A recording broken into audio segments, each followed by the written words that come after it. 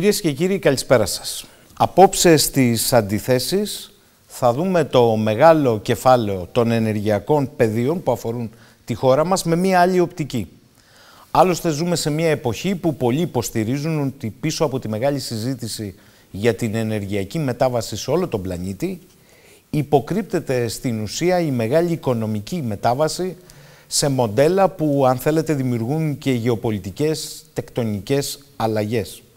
Σε όλα αυτά η Ελλάδα, πολύ περισσότερο, σε όλα αυτά η Κρήτη έχουν ρόλο και ποιον. Θυμίζω ότι η Κρήτη για δεκαετίες αποτελούσε το μεγάλο ενεργειακό έλλειμμα της χώρας.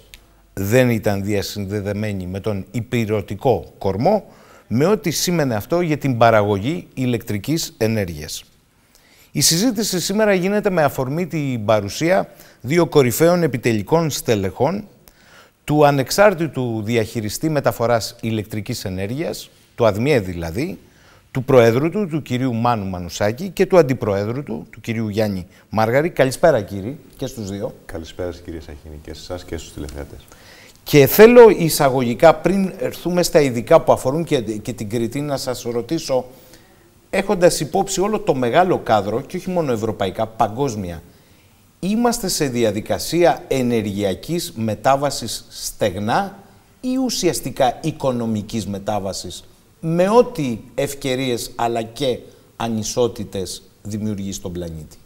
Κύριε Μανουσάκη. Νομίζω ότι είναι και τα δύο και το συζητούσαμε και το πρωί το θέμα αυτό. Η ενεργειακή μετάβαση που συμβαίνει αυτή τη στιγμή αφορά προς το παρόν κατά κύριο λόγο την ηλεκτροπαραγωγή. Δηλαδή, αλλάζει το μείγμα των πηγών ενέργειας που τελικά καταλήγουν στο ηλεκτρικό σύστημα. Από τα ορυκτά καύσιμα μπαίνουν περισσότερες ανανεώσιμες πηγές ενέργειας και αλλάζει, γίνεται καθαρότερο το ηλεκτρικό σύστημα. Όμως, για να πάμε σε συνολική ενεργειακή μετάβαση, πρέπει να σκεφτούμε ότι πέρα από την ηλεκτρική μορφή ενέργειας που καταναλώνουμε, έχουμε, έχουμε τις μεταφορές, όπου καταναλώνουμε επίσης ορυκτά καύσιμα, έχουμε τις θερμάνσεις των κτηρίων, έχουμε το πώς δουλεύουν οι μεγάλες μηχανές των εργοστασίων, οι οποίες δουλεύουν κατά κύριο λόγο με ορυκτά καύσιμα. Άρα, τι θέλω να πω με αυτό, είναι ένας δύσβατος, δύσκολος δρόμος να γίνει συνολικά ενεργειακή μετάβαση. Αυτό που πιο εύκολα αλλάζει πρώτα είναι το ηλεκτρικό σύστημα ουσιαστικά. Σε ό,τι αφορά το δεύτερο που λέτε, προφανώς, ε, όπως ιστορικά έχει συμβεί και στο παρελθόν, αλλάζοντας τη μορφή της ενέργειας που χρησιμοποιούμε, αλλάζει και η οικονομία. Αλλάζει η δομή της, των παραγωγικών σχέσεων και αυτό βέβαια αντανακλά τελικά μέχρι και στις ε, γεωπολιτικές ανακατατάξεις που βλέπουμε ήδη να συμβαίνουν. Για παράδειγμα, υπάρχουν συγκεκριμένα υλικά στον πλανήτη που είναι κρίσιμα για αυτή τη μετάβαση και υπάρχουν συγκεκριμένες χώρες που τα κατέχουν ή υπάρχουν συγκεκριμένες επιρροές σε σφαίρες ε, κρατών ε, που έχουν αυτά τα υλικά. Και αυτό παίζει κρίσιμο ρόλο για το ποια θα είναι η ισορροπία των δυνάμεων στη συνέχεια. Κύριε Μαργαρή, παίζει ρόλο και η τεχνολογία. Θέλω να πω ότι με βάση τα μέχρι στιγμής δεδομένα δεν έχουμε για παράδειγμα ουσιαστικά σε μεγάλη κλίμακα απαντήσεις για την αποθήκευση της πιο φιλικής προς το περιβάλλον ενέργειας. Σήμερα, μετά από 15-20 χρόνια, ενδεχομένως αυτό να αποτελεί μια προϊστορία. Άρα παίζει ρόλο αυτό που λέμε ότι είμαστε στην εποχή της τεχνολογικής επανάστασης και όχι μόνο γι' αυτό. Ακόμη και για τις σπάνιες γέες, τα κρίσιμα ορυκτά που είπε ο κύριος Μανουσάκης. Παίζει ρόλο η τεχνολογία, θα βοηθήσει το μοντέλο της τεχνητής νοημοσύνης που στις κοινωνίες δημιουργεί και κάποιες φοβίες για τον έλεγχό τους. Αυτό είναι άλλο όμως. Εδώ... Τεράστιο ρόλο παίζει η τεχνολογία. Δηλαδή, και αυτό είναι και το, η μεγάλη πρόκληση στην ενέργεια. Γιατί η ενέργεια είναι για να μετατρέψεις το ενεργειακό σύστημα απαιτούνται υποδομές οι οποίες θέλουν πολύ μεγάλη επένδυση και πάρα πολλά χρόνια. Άρα τον καθοριστικό ρόλο στην ενεργειακή μετάβαση, μεταξύ άλλων, θα τον παίξει η τεχνολογία. Δηλαδή η αποθήκευση είναι το ιερό δισκοπότηρο της ενέργειας. Υπάρχουν αυτή τη στιγμή λύσεις, υπάρχουν τεχνολογίες, οι μπαταρίες, οι οποίες εφαρμόζονται και γενικά πάει αρκετά γρήγορα αρκετά ραγδαία η ενσωμάτωσή τους σιγά σιγά στα συστήματα. Αυτές όμως οι μπαταρίες χρησιμοποιούν τα συγκεκριμένα υλικά που συζητήσατε πριν, τα οποία τα έχουν συγκεκριμένες χώρες. Άρα δημιουργείται εκεί μια, ένα ζήτημα του πόσο ασφαλές είναι να έχεις ένα ενεργειακό σύστημα που εξαρτάται από κάποια συγκεκριμένα υλικά. Και βέβαια υπάρχουν πάρα πολλές προσπάθειες να ε, αναπτυχθούν μπαταρίες οι οποίες θα χρησιμοποιούν υλικά που θα είναι πολύ πιο ευ, ευρέως διαθέσιμα. Από εκεί πέρα υπάρχει το υδρογόνο, που είναι μια καινούρια τεχνολογία την οποία αυτή τη στιγμή η βιομηχανία διεθνώς προσπαθεί να δει πώς μπορεί να την χρησιμοποιήσει και σε τι κλίμακα στο ηλεκτρικό σύστημα που μας ενδιαφέρει εμάς. Θέλουμε να πιστεύουμε ότι το υδρογόνο θα, θα είναι μια λύση πιο μακροπρόθεσμη, η οποία θα δώσει τη δυνατότητα δηλαδή στις ανανεώσιμες πηγές ενέργειας, στον ήλιο, στον αέρα που κυμαίνεται διαρκώς κατά τη διάρκεια της ημέρας, όταν έχεις παραπάνω να την αποθηκεύεις με τη μορφή υδρογόνου και να εξάγεις αυτή την ενέργεια σε άλλες χρήσεις, στις μεταφορές, σε χρήση στα κτίρια κτλ. Τώρα, ε, γι' αυτό ένας λόγος που όσο η αποθήκευση δεν ενσωματώνεται ραγδαία, έρχονται οι διασυνδέσεις να παίξουν έναν τεράστιο ρόλο. Ε, γιατί ε, το προφανές, όταν σε ένα σύστημα mm. έχεις περισσότερη ενέργεια, μπορείς να την δώσεις στο διπλανό σου. Αυτό και μεταξύ χωρών και μεταξύ... Στην Ελλάδα το κάνουμε εμείς ως ΑΔΜΙΕ με τη διασύνδεση των νησιών και το συνεχίζουμε βέβαια, αλλά τώρα έχουμε φτάσει στο σημείο να το κάνουμε μεταξύ χωρών και μεταξύ υπήρων. Άρα πάμε σε μια εποχή που η τεχνολογία των διασυνδέσεων θα παίξει έναν τεράστιο ρόλο να προσφέρει εκείνο το, εκείνες τις υποδομές για να μπορείς να έχεις ανανεώσιμες πηγές ενέργειας χωρίς να είναι σταθερές, παράλληλα η αποθήκευση, η τεχνολογία να προχωράει, να οριμάζει, να γίνεται πιο φθηνή και να έχεις και διαφορετικές μεθόδους αποθήκευσης, ώστε να φτάσουμε τελικά σε ένα σύστημα που θα είναι πραγματικά πράσινο 100% και δεν θα καίεις καθόλου ορυκτά καύσιμα για να έχεις ηλεκτρική ενέργεια. Αλλά αυτό είναι ένα ταξίδι στο οποίο η τεχνολογία θα παίξει, δεν ξέρω αν θα πω τον καθοριστικό ρόλο, γιατί εμείς οι άνθρωποι οι τεχνικοί ίσως δίνουμε μεγαλύτερη σημασία στην τεχνολογία από ό,τι θα έπρεπε, αλλά σίγουρα τεράστιο ρόλο. Θα έρθω σε αυτή τη συζήτηση στο τέλος, θεωρητικά, γιατί θα έχει ενδιαφέρον να, να το δούμε λίγο πρακτικά. Η Κρήτη στο ενεργειακό ισοζύγιο ήταν πάντα ένα, μια μεγάλη μαύρη τρύπα. Τα τελευταία χρόνια αλλάζει η φορά των πραγμάτων. Και εδώ ρόλο παίζουν οι διασυνδέσεις, αυτό που είπατε και οι δύο. Θέλω καταρχάς το μικρό καλώδιο, έτσι τα λέμε για να καταλαβαίνόμαστε, το καταλάβαμε το καλοκαίρι καλύτερα.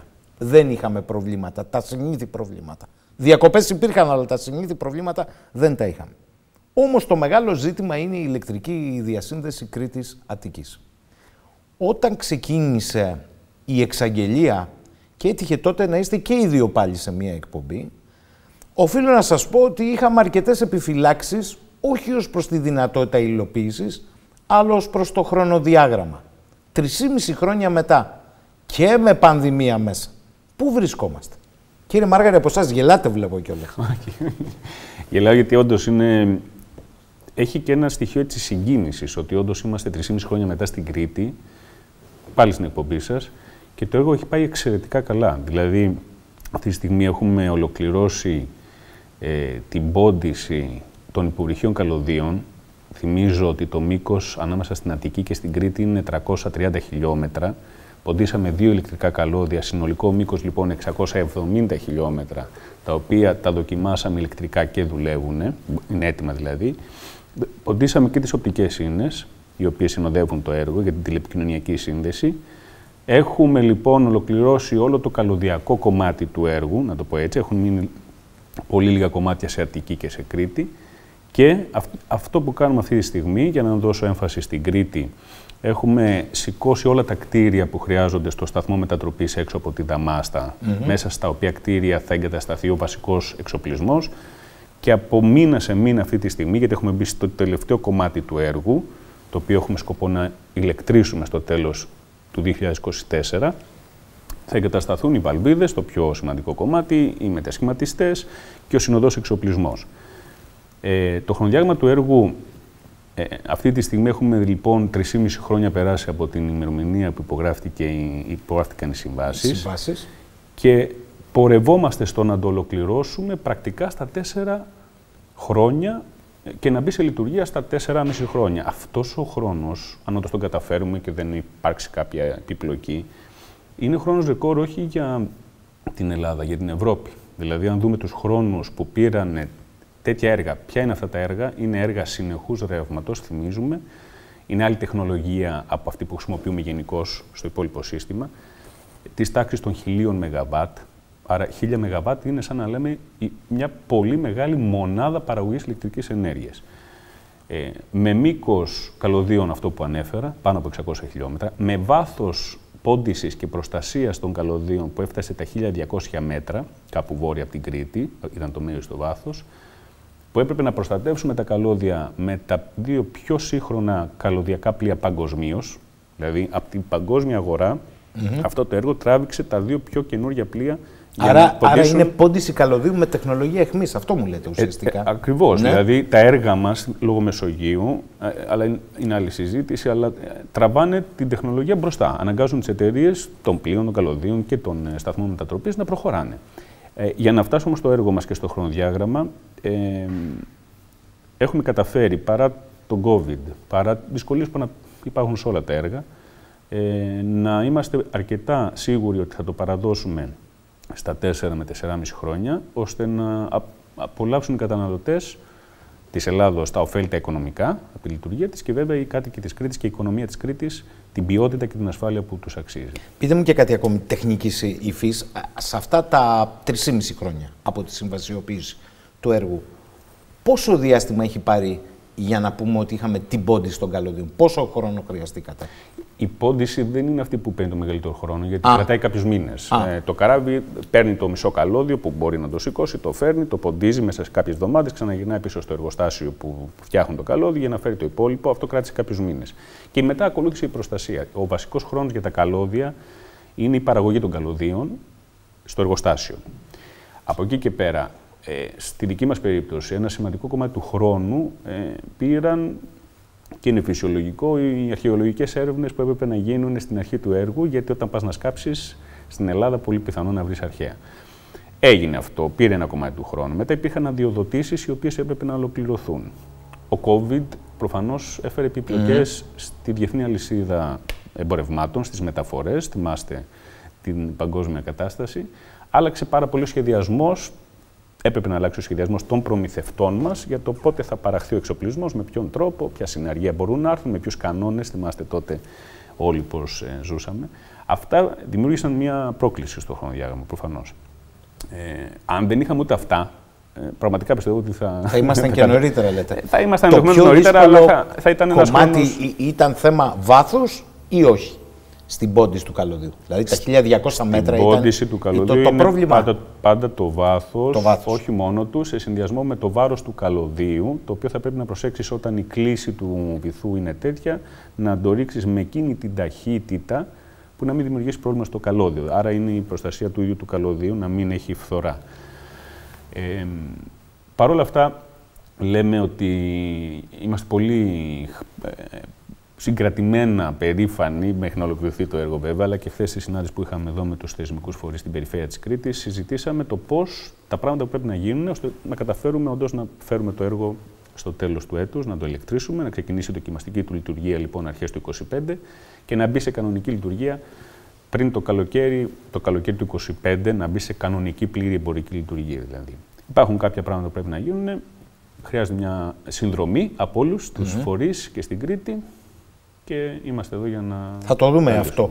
Πείτε μου και κάτι ακόμη για να έρθω στον κύριο Μανουσάκη που αν αντιλαμβάνομαι σωστά με βάση την τεχνολογία και τις τεχνικές που χρησιμοποιήσατε το έργο αυτό για τον ΑΔΜΙΕ μπορεί να είναι και το με πολλά ή χωρίς πολλά εισαγωγικά το demo του για άλλα έργα που αφορούν και εκτός Ελλάδας προς την Ευρώπη ακόμη και προς την Κύπρο μπορεί να χρησιμοποιηθεί ως ένας οδηγός σε αυτό το έργο πλέον; Όχι μπορεί, είναι. Ε, ήταν το πρώτο μεγάλο έργο τέτοιου μεγέθους και αυτής της τεχνολογίας που ΑΔΜΙΑ υλοποίησε. Βέβαια, υπάρχει άλλη μια διασύνδεση συνεχούς ρεύματος με την Ιταλία, η οποία mm. όμω έχει κατασκευαστεί με άλλη τεχνολογία πριν 20 χρόνια.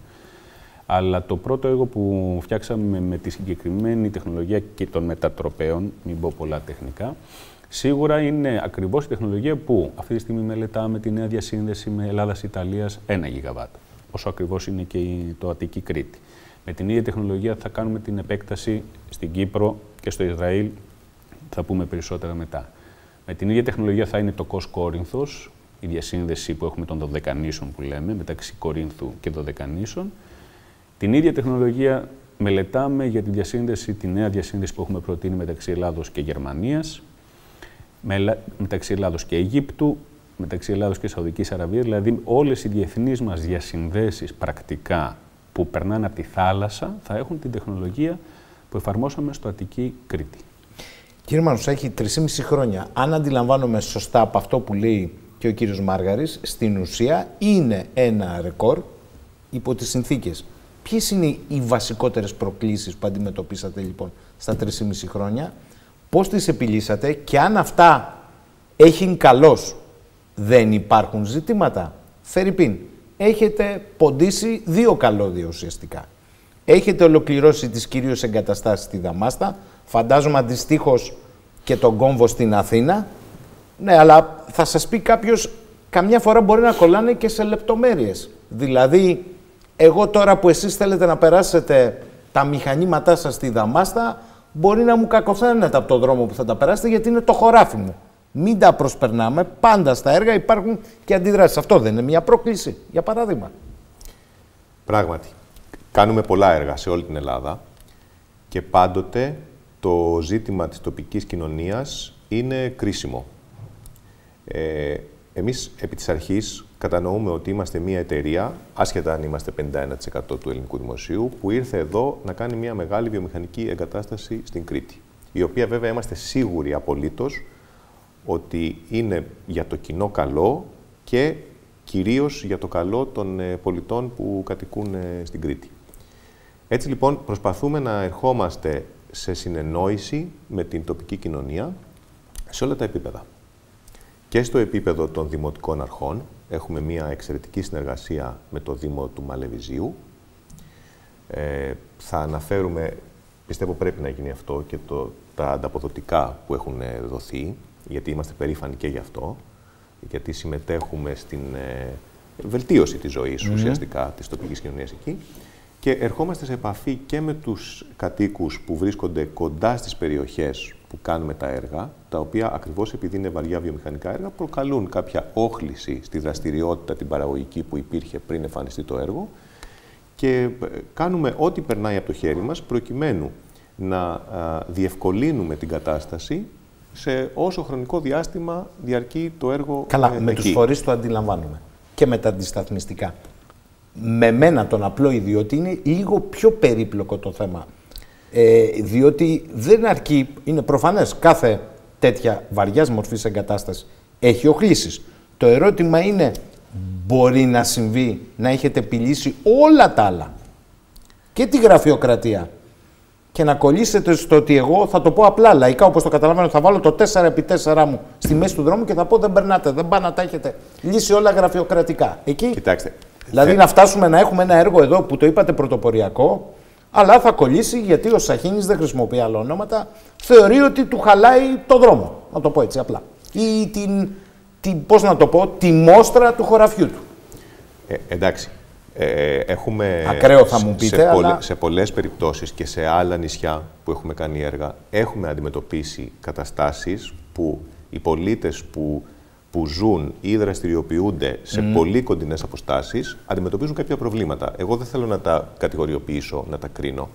Εμείς κάνουμε κάθε προσπάθεια, όπως είπα προηγουμένως, να υπάρξει συνεννόηση και να υπάρξει συμβίωση με τον ΑΔΜΙΕ με τον καλύτερο δυνατό τρόπο.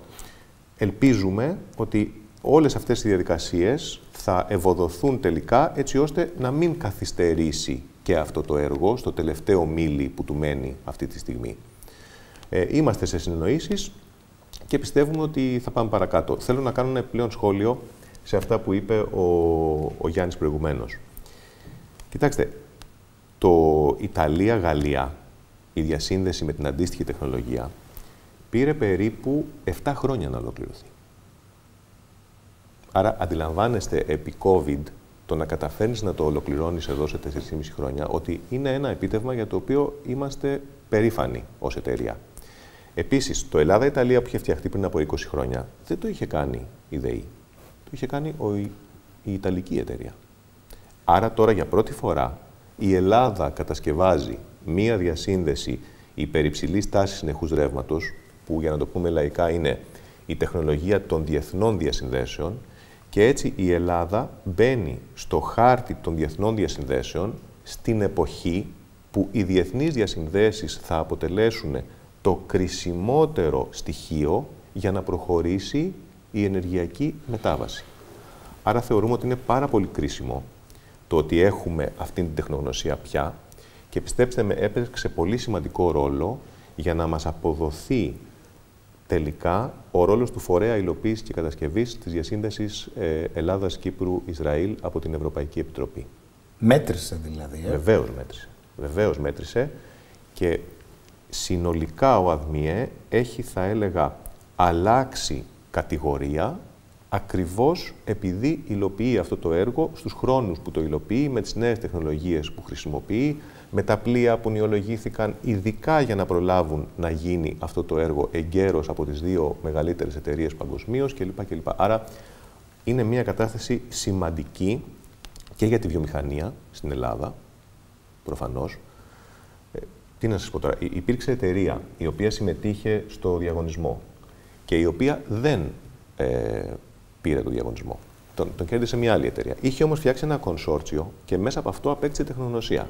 Η εταιρεία αυτή σήμερα πήρε έργο διασύνδεσης, ε, ηλεκτρικής διασύνδεσης ε, Αγγλία-Σκοτία, ε, ε έχοντας κερδίσει τεχνογνωσία από τη συμμετοχή στο έργο αυτό. Θέλω να πω δηλαδή, τα ωφέλη συνολικά για την οικονομία είναι πολύ μεγάλα. Αν το δούμε λίγο πιο ψηλά, πέρα από τα ωφέλη τα προφανή για τους πολίτες ότι θα σταματήσει να καίγεται το θα πετρέλαιο το, θα το δούμε αυτό. Πείτε μου κάτι. Για σας ποια ήταν η μεγαλύτερη πρόκληση που αντιμετωπίσατε σε αυτά τα 3,5 χρόνια; Για σας. Είχαμε, για μένα... ναι, ναι, για σας. Ως πρόεδρος. Ποια ήταν η μεγαλύτερη πρόκληση τελικώς; Κοιτάξτε, έπρεπε να έρθουμε σε συνεννόηση με την τοπική κοινωνία σε ένα μέρος που δεν δραστηριοποιείται ο ΑΔΜΙΕ καθόλου και με όλες τις ιδιαιτερότητες που υπάρχουν. Και νομίζω ότι το αποτέλεσμα είναι πραγματικά εξαιρετικό. Η, σχέση μου με τον Περιφερειάρχη είναι εξαιρετική. Η σχέση συνολικά του οργανισμού με όλη την περιφέρεια ως διοίκηση είναι εξαιρετική. Η σχέση με τον κύριο Μποκέα είναι εξαιρετική. Δηλαδή αυτό ήταν ε, που βοήθησε έτσι ώστε όλα να κυλήσουν ομαλά. Γιατί ξέρετε τι έχουμε πάθει εμείς. Όσο χρόνο κάνουμε να κατασκευάσουμε κατά μέσο όρο, τόσο χρόνο κάνουμε να διαδοτήσουμε και να ξεπερδέψουμε με τη γραφειοκρατία. Ίσο χρόνο σε κάθε έργο. Αυτό λέει πολλά για τα μεγάλα έργα στη χώρα μας. Ακριβώς. Κύριε Μάργαρη, για σας ποια ήταν η μεγαλύτερη πρόκληση σε αυτό το έργο; Σκεφτόμουν ε, όταν κάνανε την ερώτηση στο, στον πρόεδρο. Εντάξει, το γεγονός ότι αναλάβαμε ένα έργο τέτοιας τεχνολογίας, στο οποίο ε, υπάρχει και μια διαδικασία εκμάθησης που λέμε, δηλαδή η μηχανική μας, αν και βέβαια είχαμε καταφέρει να φέρουμε Έλληνες του εξωτερικού που είχαν δουλέψει παρόμοια έργα. Παρ' όλα αυτά έπρεπε να φτιάξουμε μια καινούργια ομάδα και να διαχειριστούμε εταιρείες, όλες τι εταιρείες που συμμετείχαν στο έργο, σε μια τεχνολογία που δεν είχαμε ξαναδεί. Αυτό η αλήθεια είναι και ως μηχανικούς, ας το πούμε. Ήταν μια πρόκληση στο να καταφέρουμε χωρίς να αλλάζουμε το χρονοδιάγμα του έργου, ταυτόχρονα να μαθαίνουμε. Τώρα βέβαια αυτό έχει περάσει. Ε, από εκεί και πέρα κατά τη διάρκεια του έργου, αυτά που αναφέραμε πιο πριν, δηλαδή πήγαμε να ξεκινήσουμε το έργο και ανακαλύψαμε έγκυλα που λέμε στο υπέδαφος. Δηλαδή, ενώ οι γεωτεχνικές μελέτες δεν είχαν δείξει ότι θα έχουμε κάτι εκεί, τα έγκυλα είναι τρύπες, έτσι. Ε, ε, αυτό όταν εμφανίζεται μπροστά σου καταλαβαίνεις ότι υπάρχει ένα ρίσκο μεγάλο το οποίο μέχρι να καταφέρεις να κάνεις την έρευνα, να το μελετήσεις και να δεις τους τρόπους αντιμετώπισης περνάς ε, δυσκολίες και, ε, πώς να το πω, περιόδους που πρέπει να λάβεις αποφάσεις. Αυτές νομίζω ήταν ίσως οι πιο δύσκολες. Τώρα εντάξει, μπαίνουμε στην τελευταία φάση του έργου. Αυτό έχει μια άλλη χαρά και μια άλλη δυσκολία επίσης. Δηλαδή καταλαβαίνεις ότι κάθε μέρα που περνάει πλέον μετράει. Άρα δεν έχεις την πολυτέλεια να πεις ότι ναι. α, δυσκολεύομαι εδώ, δεν πειράζει, θα πάω κάπου να κάνω κάτι. Τώρα εδώ, ό,τι έχεις μπροστά σου πρέπει να το λύνεις προκειμένου να κουμπώσει, να κουμπώσουν όλα αυτά τα θέματα. Ε, άρα θα έλεγα ότι ναι, το ίδιο το έργο ως τεχνολογία, ως μέγεθος ε, και διαχείριση όλων των contractors ε, ήταν μεγάλη πρόκληση. Ε, Η χαρτογράφηση υποθαλάσσια, την οποία κάνατε υποχρεωτικά, έφερε ενδεχομένως και κάποιες ανακαλύψεις που δεν υπήρχαν υπόψη στο, ε, στο ευρύτερο επιστημονικό κοινό ή ήταν πάνω κάτω το ανάγλυφο που ήταν ήδη χαρτογραφημένο. Ρωτώ ως εταιρεία, αν σας προέκυψε κάτι, σας είπε κάποιος ειδικός ότι εδώ παρατηρούμε κάτι που δεν το είχαμε δει. Ε, πάντα έχει τρομερό ενδιαφέρον η βυθομέτρηση και η χαρτογράφηση του βυθού ε, και δεν είμαι και ειδικός του αντικειμένου για να μπορώ να τα εκλαϊκεύσω ίσως. Ε, γι' αυτό και αυτά τα δεδομένα είμαστε σε μια διαρκή επαφή με άλλες αρχές οι οποίες ασχολούνται πολύ περισσότερο με το αντικείμενό τους η οκενογραφία, η θαλάσσια ζωή, προκειμένου να παίρνουν πληροφορίες και δεδομένα και να μαθαίνουν από αυτά. Ο βυθός μεταξύ Αττικής και Κρήτης δεν μας τρόμαξε όσο μας είχε τρομάξει ο βυθός μεταξύ Κρήτης και Πελοποννήσου. Δηλαδή, Α, ναι. Βεβαίως, ναι. ναι. Η δυσκολία... Επειδή τα βάθη εκεί είναι διαφορετικά, ε, καταρχάς. Το είδο, όχι το βάθος, το βάθος ήταν μικρότερο, ναι. αλλά ήταν στα 950 χίλια μέτρα, εδώ είμαστε στα 1200, αλλά ο βυθός ήταν πολύ πιο απότομος. Ήταν πολύ πιο απότομος βυθός, βράχια, γκρεμή, δηλαδή εκεί για να καταφέρουμε το καλώδιο να το ποντίσουμε, πώς να το πω, θυμάμαι να συζητάμε με τον Μάνο, ε, ότι είμαστε πραγματικά στο όριο των ικανοτήτων όλων. Άρα, άρα το μικρό καλώδιο είχε περισσότερες δυσκολίες. Ω προς την πόντιση, ναι. Ως προς την πόντιση, ναι. Εδώ ήταν άλλου είδους η πρόκληση που είπαμε, το, ναι, το μήκος κτλ. Να μου λύσετε ε, απορίες που μπορεί να έχει ο, ο απλός κόσμος και να πάμε μετά στα ωφέλη και τα αντισταθμιστικά για τα οποία πρέπει να μας μιλήσετε. Σκέφτεται κάποιος μη επαΐοντας. Είναι όμως ένας θαλάσσιος χώρος με πολλά ρεύματα το αγκιστρώσατε, τι κάνατε; Ναι, ναι, ναι. Τι θα συμβεί αν περνάν υποβρύχια; Είμαστε και ένας χώρος γεωστρατηγικά ενδιαφέροντος ως περιοχή. Υπάρχει περίπτωση να κοπεί, να το πω έτσι. Απλά ερωτήματα, αλλά που όμως έχουν το ενδιαφέρον Κα, Καθόλου απλά και καθόλου προφανή. Ε, εννοώ ότι η προστασία... Εμείς τα καλώδια αυτά τα έχουμε προστατεύσει κάτω από το βυθό, όπως λέμε. Δηλαδή, ανοίξαμε στο βυθό ε, χαντάκι τοποθετήθηκε το υποβρύχιο καλώδιο μέσα και θαύτηκε από πάνω με κατάλληλα υλικά ανάλογα με το είδος του βυθού. Έχουμε προστατεύσει ουσιαστικά τα καλώδια σχεδόν στο μισό τους μήκος, δηλαδή από τα 330 χιλιόμετρα που είναι η απόσταση, περίπου τα μισά 170 είναι θαμένο λοιπόν το καλώδιο, άρα δεν το βλέπεις καν, ε, δεν έχει επαφή κάποιος. Ε, αυτό το κάναμε εκεί που τα βάθη ήταν έως και τα 600 μέτρα βάθος, και επειδή από τις έρευνες βυθού που κάναμε πριν ξεκινήσουμε, είδαμε σημάδια από τράτες, ακόμα και στα 800 μέτρα που δεν το περιμένεις, ναι. ε, εκεί αυξήσαμε την προστασία και προστατεύσαμε το καλώδιο ακόμα και σε μεγαλύτερα βάθη από τα 600 που ήταν ο βασικός μας σχεδιασμός. Τώρα, από εκεί και πέρα, το καλώδιο αυτό είναι πολύ βαρύ. Άρα, θέλω να πω όσον αφορά τα ρεύματα και τα λοιπά, στο βυθό της θάλασσας δεν υπάρχει κάποιο θέμα μετακίνησης. Το θέμα τώρα προστασίας του κομματιού που απομένει άθαυτο. Μιλάμε για βάθη, όπως σας είπα, τα οποία είναι πλέον στα 900 μέτρα βάθος, στα 1000 μέτρα βάθος. Και βεβαίως είμαστε σε μια διαρκή επικοινωνία με τις αρμόδιες αρχές του λιμενικού. Υπάρχουν οι ναυτικοί χάρτες όπου το καλώδιο έχει τη δική του ζώνη και στην οποία προφανώς όλοι όσοι πλέουν και δραστηριοποιούνται μες στη θάλασσα λαμβάνουν υπόψη τους. Ε, προκειμένου να μην υπάρχει κίνδυνος καρδιακής ζωής του έργου. Ενδεικτικό είναι ότι όσα χρόνια έχουμε τις διασυνδέσεις που φτιάξαμε τα προηγούμενα χρόνια στο, στο Αιγαίο, στον ίδιο χώρο, δεν έχουμε κανένα συμβάν το οποίο να έχει απειλήσει την λειτουργία του καλωδίου. Η οπτική είναι, είναι ένα επιπλέον πλεονέκτημα εδώ, ε, ενώ ως προϊόν θα αξιοποιηθεί; Η οπτική να είναι καταρχήν αναγκαστικό να τοποθετηθεί όταν έχεις μία διασύνδεση συνεχούς ρεύματος περιψηλής τάσης για να επικοινωνούν οι δύο μετατροπέ μεταξύ τους με ψηφιακά σήματα. Αλλά προφανώς όταν ρίξεις ένα καλώδιο οπτικών ινών έχει μέσα περισσότερες ίνε από αυτές που χρειάζονται για αυτή τη δουλειά. Κάτι το οποίο θα το εκμεταλλευτούμε εμείς ε, εμπορικά μέσω της ε, θηγατρικής εταιρείας Grid Telecom, η οποία δραστηριοποιείται στις ε, τηλεπικοινωνίες. Ήταν δηλαδή πολύ κρίσιμο να έχουμε και έναν οπτικό δρόμο, όπως λέμε, μεταξύ της Αττικής και της Κρήτης. Μας βοήθησε έτσι ώστε η Grid να συμμετάσχει σε ένα καλώδιο το οποίο έρχεται από την Αίγυπτο και κουμπώνει στην Κρήτη και εντάσσεται στο του Africa καλώδιο, ένα μεγάλο καλώδιο που κάνει το γύρο της Αφρικής, που είναι του Facebook και μπήκαμε εκεί ως μέτοχοι σε ένα κονσόρτσιο για να συμμετέχουμε σε αυτό και να αρχίσει πλέον να διεθνοποιείται και η παρουσία της Grid Telecom σε ό,τι αφορά την μεταφορά δεδομένων. Γενικότερα, Η δραστηριοποίηση της Grid Telecom έχει μετατρέψει τον ΑΔΜΙΕ από απλώς διαχειριστή μεταφοράς ηλεκτρικής ενέργειας σε έναν όμιλο εταιριών που δραστηριοποιείται και στην ενέργεια και στα data.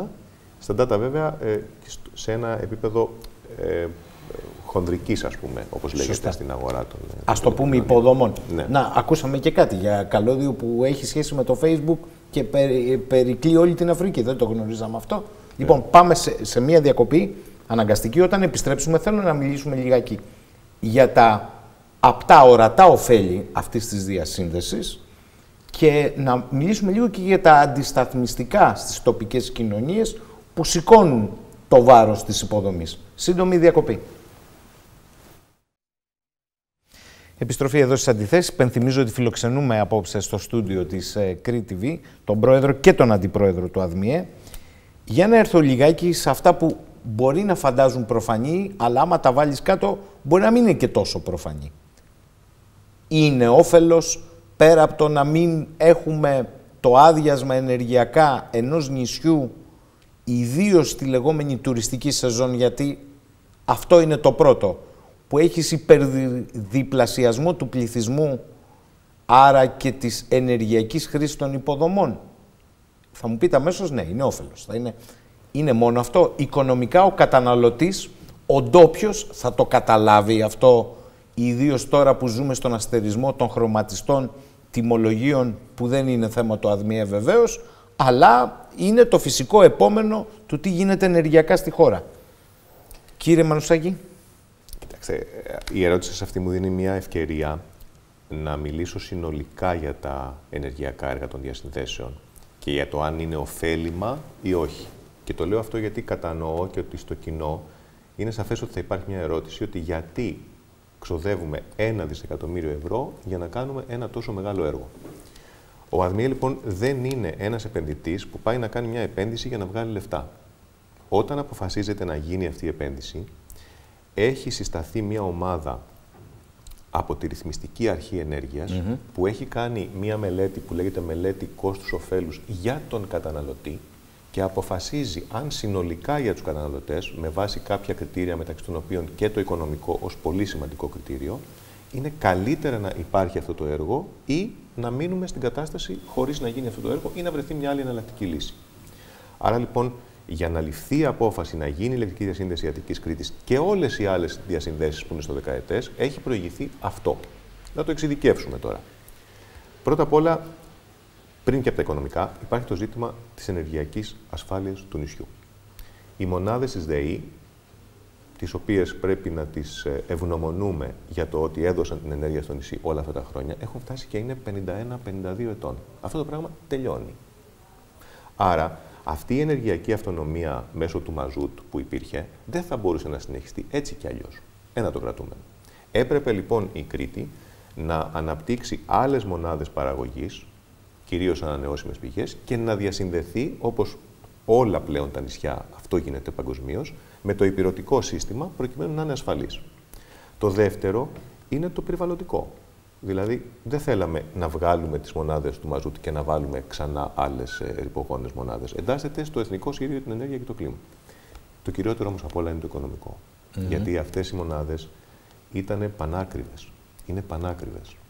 Και αυτό δεν αφορά μόνο τους πολίτες που ζουν στην Κρήτη. Λόγω του μηχανισμού των υπηρεσιών κοινή ωφέλεια, αυτό το κόστος διαμοιραζόταν σε όλη τη χώρα. Περίφημε ΣΥΚΟ, ε, που Ναι, ναι. βλέπουμε και στα τιμολόγια. Ακριβώς. Αυτό Μάλιστα. διαμεριζόταν σε όλους μας. Άρα λοιπόν κάθε διασύνδεση που γίνεται μειώνει τη ΣΥΚΟ. Και εδώ να προλάβω ένα ερώτημα. Μπορεί λόγω της ενεργειακής κρίσης των δύο τελευταίων ετών να μην το είδαμε αυτό απευθείας ως μείωση στους λογαριασμούς μας; Ξέρετε όμως πώς το είδαμε. Το είδαμε έμεσα ως μη μεγάλη αύξηση στους λογαριασμούς. Χάρη σε αυτά τα χρήματα που οικονομήθηκαν από εκεί, μπόρεσε η κυβέρνηση να χρηματοδοτήσει ας πούμε, το Ταμείο Ενεργειακής Μετάβασης, το οποίο έπαιξε ρόλο για να μπορέσει να κρατήσει τους λογαριασμούς στην κρίση το Υπουργείο Ενέργειας σε ένα συγκεκριμένο επίπεδο και να μην εκτοξευθούν εντελώς όπως θα γινόταν κανονικά. Καλά, αυτό θα το πείτε εσείς. Εμείς έχουμε την προσλαμβάνουσα του καταναλωτή και ιδίως με αυτόν τον αλγόριθμο σπαζοκεφαλιά, ότι ό,τι και να κάνει πληρώνει ήδη ακριβότερα το ρεύμα του, και αυτό δεν αφορά τον ΑΔΜΙΕ, από ό,τι του λένε και πάντως δεν βλέπει τη μείωση, τίποτα δεν βλέπει. Όμως λέτε ότι Στη ΣΥΚΟ φαίνεται ένα αυτό. Δεύτερον, πείτε μου τι σημαίνει αυτό πρακτικά και για το εγκριτικό. Ο, ο, ο πολίτης της, ε, της Κρήτης είναι και αυτός πληρώνει στο ρεύμα του τη ΣΥΚΟ όπως όλοι Άρα οι υπόλοιποι. μπαίνει πια σε αυτό το κοινό σακούλι. Ναι, ναι, ναι, ναι, Μάλιστα. ακριβώς. Ωραία. Τώρα, θέλω να σας ρωτήσω και κάτι ακόμη. Έχει προσμετρηθεί το κέρδος, το όφελος της ενεργειακής ασφάλειας στο αναπτυξιακό μοντέλο του νησιού; Θέλω να πω ότι μέχρι τώρα όλα, όλες οι επενδύσεις είχαν πάντα μία παράμετρο. Ότι θα έχουμε σταθερά την ενέργεια που χρειαζόμαστε. Δεν την είχαμε όμως. Άρα παθαίναμε ε, ζημίες, αβαρίες και οι βιομηχανικές και οι βιοτεχνικές ε, μονάδες, κυρίως οι βιοτεχνικές και οι τουριστικές μονάδες.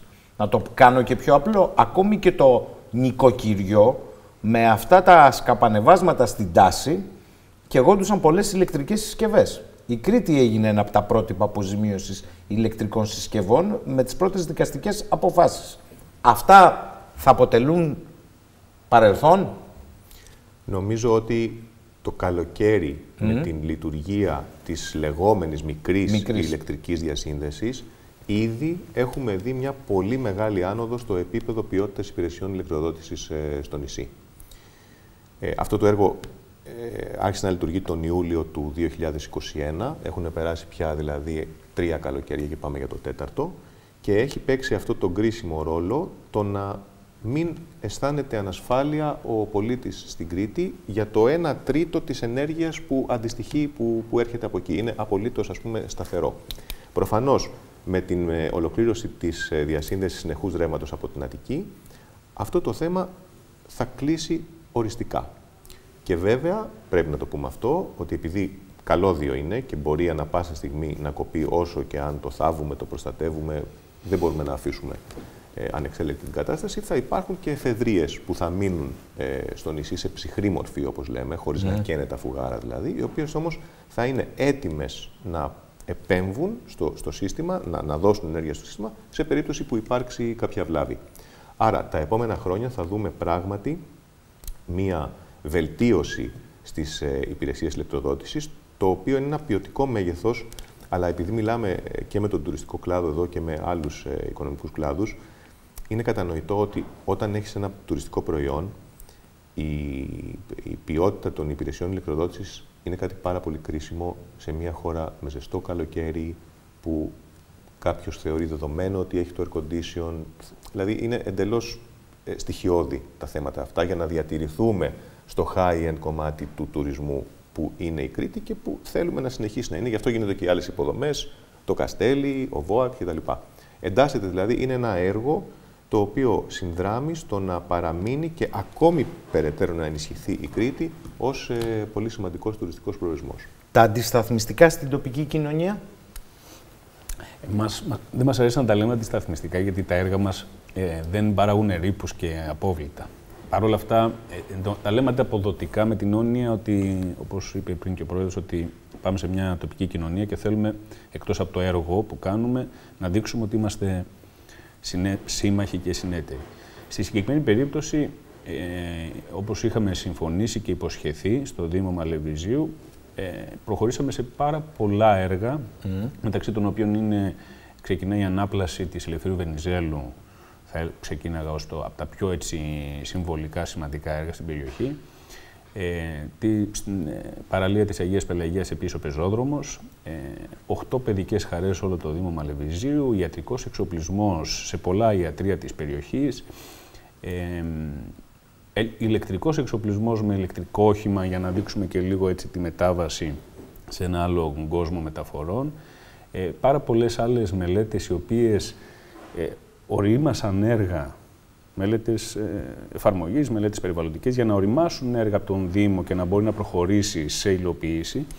Συνολικά έργα λοιπόν προπολογισμού της τάξης των 10 εκατομμυρίων ευρώ, στα οποία εμείς βοηθήσαμε και συνδράμαμε και τα οποία πλέον μπορούν οι πολίτες να απολαύσουν. Ένα καινούριο νηπιαγωγείο στο Δήμο Μαλεβιζίου. Ανακαίνιση σχολικών κτηρίων. Δηλαδή η λίστα των έργων η οποία τότε συμφωνήσαμε και η οποία αυτή τη στιγμή ολοκληρώνεται μαζί με το έργο μας. Και όταν θέλουμε την επόμενη φορά που θα έρθουμε να κάνουμε επίσκεψη και σε όλα αυτά τα μικρά ή μεγαλύτερα έργα να τα δούμε και να τα δει και, η κοινωνία.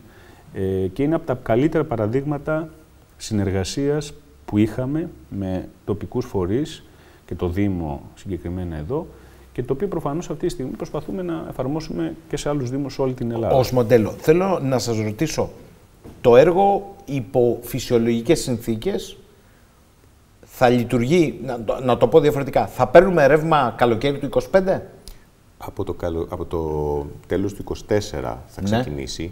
Απλώς επειδή, όπως είπε και ο Αντιπρόεδρος, προσωμιάζει με μια μεγάλη μονάδα παραγωγής, όταν μπαίνει μια μεγάλη μονάδα παραγωγής στο ΙΣΜΑ, ας πούμε το Λεμάιδα 5, που μπήκε τώρα στην Κοζάνη, χρειάζεται πολλούς μήνες δοκιμαστικής λειτουργίας για να είμαστε σίγουροι ότι θα λειτουργεί. Σε εκείνη τη δοκιμαστική λειτουργία μπορεί να μπαίνει, να βγαίνει, να το βάζουμε, να δοκιμάζουμε κάτι κτλ. Άρα από το καλοκαίρι του 25, αν γίνουν όλα τα τελευταία βήματα, όπως είπαμε πριν, σε συνεργασία με τις αρχές εδώ, ε, θα έχουμε την πλήρη αδιάλειπτη πια ε, λειτουργία του καλωδίου και πλέον το σύνολο της ενέργειας που καταναλώνεται στην Κρήτη θα έρχεται από το συνδυασμό της διασύνδεσης με την Αττική και της ε, διασύνδεσης με την Πελοπόννησο και βέβαια και τις ανανεώσιμες πηγές ενέργειας που λειτουργούν ήδη εδώ. Και θα δώσει και ηλεκτρικό χώρο για να γίνουν πολύ περισσότερες, εάν υπάρχει συνένεση κοινωνική, ανανεώσιμες πηγές ενέργειας και επάνω στην Κρήτη. Για να σας ρωτήσω, με το που τελειώσει η ιστορία στη Δαμάστα, δεν χρειάζονται άλλα έργα, θα σας πει κάποιος, από τη Δαμάστα για να διαχυθεί πάνω στο νησί αυτή η δυνατότητα. Έχετε τελειώσει, αυτό ρωτώ. Χρειάζονται και θα τα αναφέρει ο Αντιπρόεδρος. Μόλις ξεκινάμε, όχι αν έχουμε τελειώσει. Δηλαδή, ε, με τη μικρή διασύνδεση που βάλαμε σε λειτουργία το 2021, η υψηλή τάση που έχει μια βασική γραμμή στην Κρήτη, 150 kV από τα Χανιά μέχρι το Λασίθι, πέρασε στα χέρια μας. Οπότε εμείς ξεκινήσαμε ουσιαστικά να υλοποιούμε ένα πρόγραμμα ανάπτυξης του συστήματος υψηλής τάσης της Κρήτης. Άρα, ε, μαζί με τη μεγάλη διασύνδεση, αυτή τη στιγμή οριμάζουμε, αδειοδοτούμε μια σειρά από καινούριες γραμμές υψηλής τάσης 150 kV, αναβαθμίσεις των φυστάμενων γραμμών. Αναβάθμιση σημαίνει είτε αλλαγή των καλωδίων, είτε ενίσχυση να περνάει περισσότερο ρεύμα.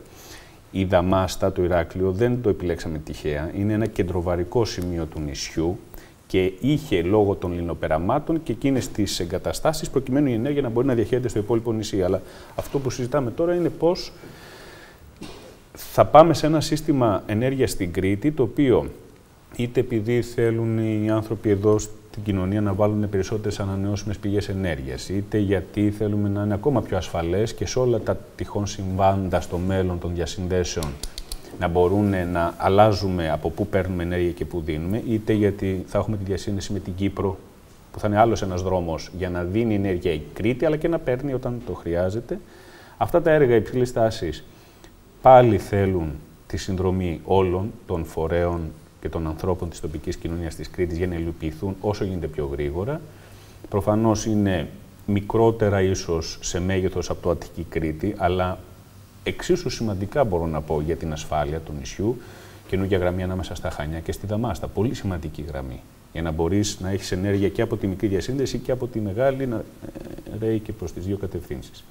Και βέβαια οριμάζει η κατάσταση, οριμάζουμε και υποσταθμούς για να φτιάξουμε καινούριους κόμβους μέσα στο νησί. Άρα μύρες, Ιεράπετρα, Αθερινόλακος, mm ε, Ηράκλειο, Χανιά ε, είναι σημεία στα οποία θα αναπτυχθεί ένα σύστημα υψηλής τάσης. Θα φτιάξουμε βρόχους όταν χάνεται μια γραμμή, να παίρνουμε από την άλλη, όπως κάνουμε σε όλο το υπερωτικό σύστημα. Ε, ρεύμα θα έρχεται από την Αττική. Ρεύμα θα πηγαίνει ενδεχομένως μελλοντικά στην Αττική, από την Κρήτη. Όπως ε, είπαμε προηγουμένως, δημιουργείται ο λεγόμενος ηλεκτρικός χώρος για να μπουν περισσότερες ανανεώσιμες πηγές ενέργειας. Αυτή τη στιγμή δηλαδή στην Κρήτη λειτουργούν γύρω στα 300 ΜΒ ανανεώσιμων πηγών ενέργειας και δημιουργείται χώρος για να λειτουργούν γύρω στα 2 και ίσως και λίγο παραπάνω γιγαβάτ. Άρα μπορεί να εξαπλασιαστεί, επταπλασιαστεί το, το δυναμικό ε, ανανεώσιμων πηγών ενέργειας που υπάρχει πάνω στο νησί. Από εκεί και πέρα το νησί με αυτόν τον τρόπο συμμετέχει στην ενιαία ελληνική αγορά ηλεκτρισμού και αναλόγως η ροή θα έχει να κάνει με την τιμή, το κόστος παραγωγής, το...